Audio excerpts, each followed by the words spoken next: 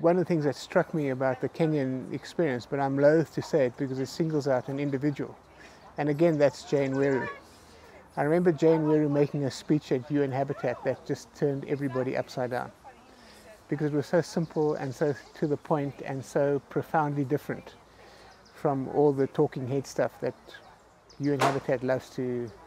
to specialize in.